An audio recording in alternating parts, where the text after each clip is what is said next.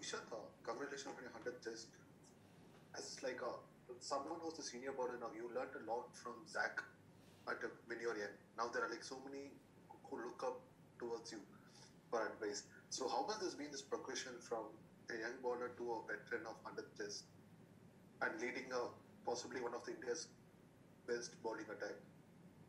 Uh, obviously, it feels great to be very honest. You know, to be very honest, uh, yes, I learned a lot from Zach. You know, uh, especially his uh, work ethic and everything. He always keep on kept on telling me, you know, what how important is fitness for a fast bowler. So always keep that in mind, and that's what I told everyone, even in the team. So, you know, if you keep working hard on your fitness, I'm sure that you'll play longer and uh, that's what I generally think about myself, and that's what I pass on to the uh, to my teammates as well. Hi Ishant, congratulations on your 100 test match. I just wanted to know a lot of players have talked about the difficulty uh, during batting in the twilight period. As a bowler, I just wanted to know do you think the short ball tactic can be employed during that stage that batsmen are extra cautious and there might be trouble sighting the ball, looking at the new ground and the lights? So that we get to know once we play at this ground because I think they've renovated and everything. So till now I can't really say anything, you know, what trouble the batsman and what not.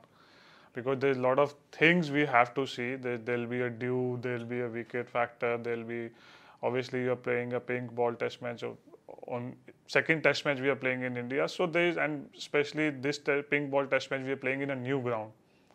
So even for us, the few things even we don't know how you know we have to tackle all these things. I think I'm sure, and our batsmen are really capable, you know, to tackle all these things, how they need to go, and they prepare really well, you know, to go on to the test match.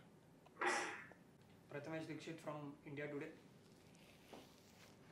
हाँ ईशान सबसे पहले आपको बहुत बहुत बधाई hundred test के लिए काफ़ी समय तक आपने टेस्ट क्रिकेट में टीम इंडिया को रिप्रेजेंट किया है जिम्मेदारी ली है बॉलिंग की पर जब आज हम लोग बात करें तो यंगस्टर्स की जो स्पेशली शार्दुल ठाकुर है मोहम्मद सैनी है मोहम्मद सिराज है आपको क्या लगता है आगे जाके इन तीनों में से कौन सा बॉलर है जो आपकी जगह चला पाएगा टीम में?